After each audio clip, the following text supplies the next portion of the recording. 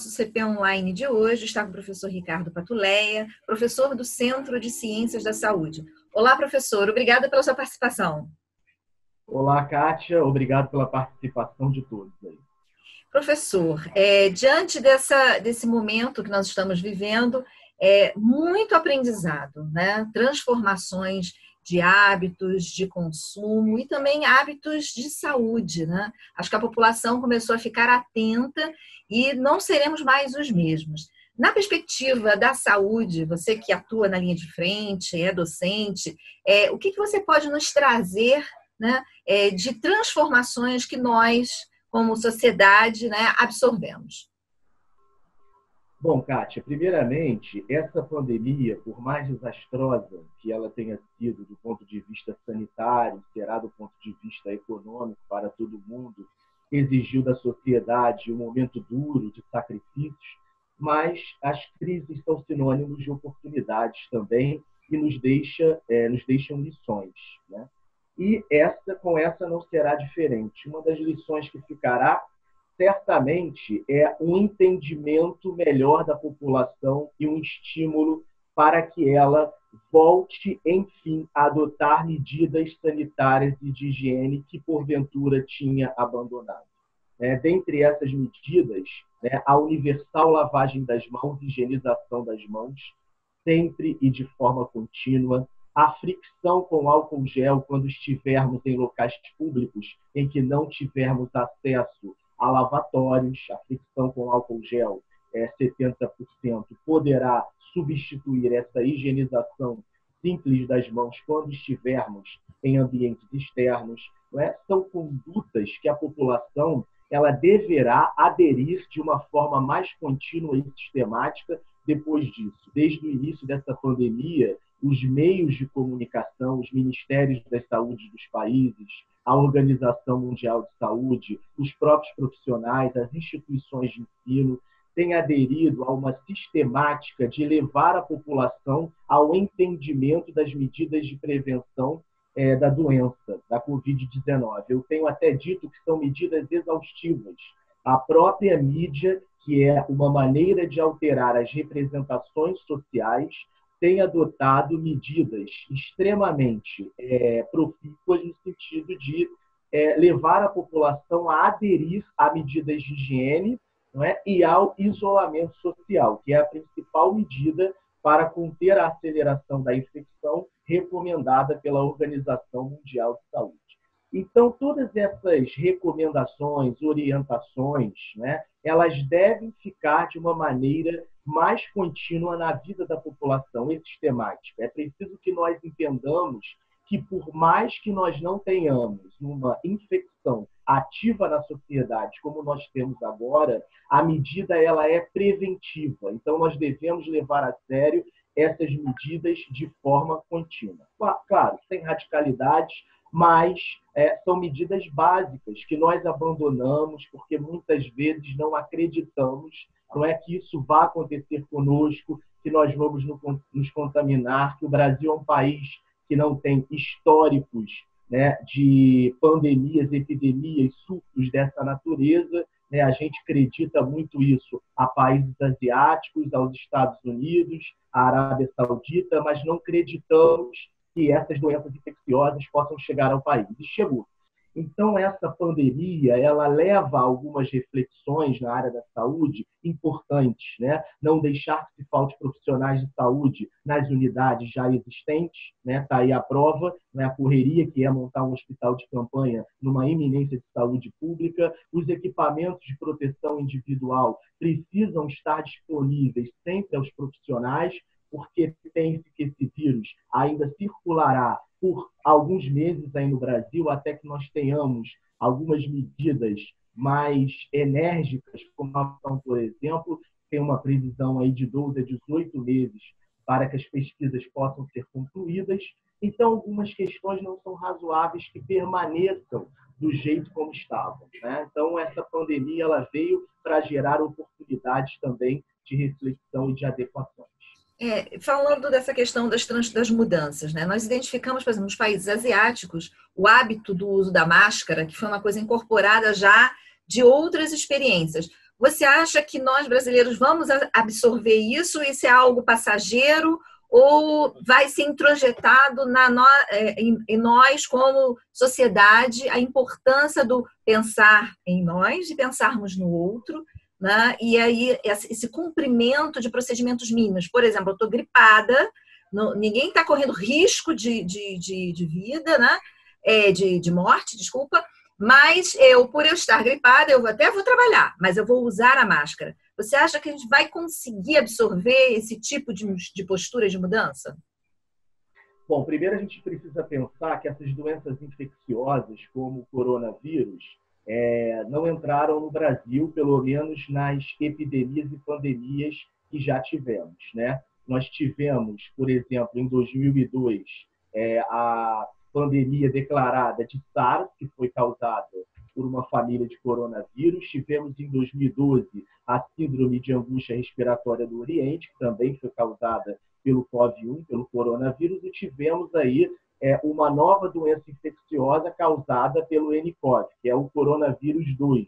Ele foi mutado, é um novo coronavírus, como estão se referindo. Né? Então, esses países como China, Coreia, Arábia, o próprio Japão, né, os Estados Unidos também tiveram experiências. Esses países já lidam, não é, principalmente a China, com essas doenças. Então é cultural, conforme você já disse, daquele povo é, pegar um adenovírus, por exemplo, que é um vírus é, que pode causar gripe, né, pegar um vírus influenza, ter uma gripe e colocar máscara. Porque, como você muito bem disse, quando nós temos as medidas protetivas, nós não estamos pensando somente em nós. Nós precisamos entender que a saúde é uma questão coletiva. Por isso que existe uma área da, das ciências da saúde denominada saúde coletiva. Porque todos os nossos hábitos, por exemplo, jogar um lixo fora da lixeira, por mais que seja um hábito contínuo de muitas pessoas, né? É um hábito aí não recomendável, não é? Mas é um hábito que pode influenciar a saúde do vizinho. Né? A questão da dengue, que nós temos muito intrínseca no Brasil, é uma questão de saúde coletiva, porque à medida que eu deixo o meu terreno não é com água parada lá naqueles recipientes, eu coloco toda a sociedade ao meu redor em risco. Né? Então é preciso, como você muito bem disse, que o Brasil, o povo brasileiro, a nossa sociedade, tome alguns hábitos para si no dia a dia, pensando muito na prevenção, na saúde coletiva. É um hábito que, infelizmente, a gente não tem. No Brasil, até pelo histórico da saúde pública, nós lidamos muito com a medicina curativa. Nós focamos ainda muito curar a doença, não prevenir a doença, não saber se cuidar, se autocuidar. Não é tanto que é, é, fácil a gente encontrar no linguajar das pessoas a seguinte representação: poxa, precisa fazer mais hospitais. Por quê? Porque os hospitais são locais onde trata-se as doenças. Não é? Na verdade, nós precisamos é de locais que ajudem a prevenir as doenças, a promover saúde. Não é? Nós precisamos do aumento também dessa cobertura. Não é? Então, por esse fato que eu coloco a você, é possível que ainda nós não tenhamos uma adesão a essa questão do uso de máscaras, embora seja preciso que, se eu estou gripado, que eu tome esse hábito de, de repente, colocar uma máscara, nem que seja aquela que eu comprei, que é de pano, que já diminui muito o risco de transmissão. É? Então, esse hábito era um hábito que deveria ser incutido na nossa sociedade, embora a cultura do povo brasileiro, pelo fato de não lidar muito com essas doenças infecciosas, como a Ásia, a China, é, enfim, aqueles países ali ao redor lidam, não é? Mas é preciso que essa pandemia ensine a gente também a ter esses hábitos. E aí, para finalizar, professor, o que, que o senhor sugere ou recomenda, né, as pessoas que estão nos assistindo agora, você que está direto aí na linha de frente, né? O que, que o senhor pode nos passar aí como uma mensagem como uma recomendação né, nesse momento que nós estamos vivendo agora? Bom, primeiro dizer para as pessoas que não é um caso de números totais. Realmente as pesquisas epidemiológicas estimam que pelo fato de ser um vírus novo, ele saiu lá daquela cidadezinha, cidadezinha não, né? Aquela cidade da China lá longe, é isso que eu quis dizer, não é? E está chegando, chegou ao mundo em dois, três meses, para você ver como que é a transmissão de um vírus novo. Então, ele tem uma alta transmissibilidade, como as pesquisas e a Organização Mundial da Saúde já colocou, e pelo fato de ter essa alta transmissibilidade, não é uma questão número total de casos, é uma questão de velocidade de transmissão para que as pessoas sejam bem assistidas de forma qualitativa, tanto nos serviços de saúde públicos e privados que tenha respirador para todo mundo, caso haja indicação, profissionais para examinarem com calma, atender com calma. Então, é uma questão de velocidade de transmissão. Então, nós precisamos ter esse entendimento para que nós tenhamos adesão de forma eficaz ao isolamento social, às medidas restritivas impostas pelas é, autoridades sanitárias. É duro? Sem sombra de dúvidas. O comércio vai ter prejuízo? Sem sombra de dúvidas, mas é preciso que haja sacrifício de todos nesse momento para que nós colhamos frutos melhores futuramente. Então, o isolamento social, respeitar as regras das autoridades sanitárias, sair somente se for profissional indispensável para ir trabalhar fisicamente nos locais, não é? Se for ao mercado, evitar sair em aglomeração, só ir uma pessoa da família, tomar as medidas de higiene. É importante quando chegar em casa, retire a roupa, retire os sapatos do lado de fora, para que o piso não seja um local de veiculação também, não é, é de contaminação. Importante também retirar os alimentos das embalagens que estavam no mercado e acondicioná-los, por exemplo, em potes próprios, que são potes que estavam dentro da sua casa. Então, muita gente está pegando o pão de forma que comprou no mercado e colocando dentro do armário com aquela embalagem. Na verdade, alguém pode ter tocado aquela embalagem lá no mercado e o vírus estar ali ainda. Não é? Então, são essas medidas básicas que a gente tem que tomar. Né? Higienizar as mãos sempre, não é fricção com álcool gel na rua quando não tiver lavatório com sabão. Não é? Então, são essas as medidas básicas que a gente tem que estar tomando neste momento para colaborar, você muito bem colocou, com a saúde coletiva, minha, dos meus filhos, da minha mãe, né? da minha esposa, também de toda a sociedade. É preciso que a gente tenha esse olhar.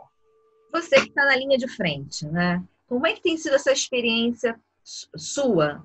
Essa, esse sair para atuar, né? Porque você é profissional de saúde, você está na linha de frente. Como é que tem sido essa experiência para você, como pessoa?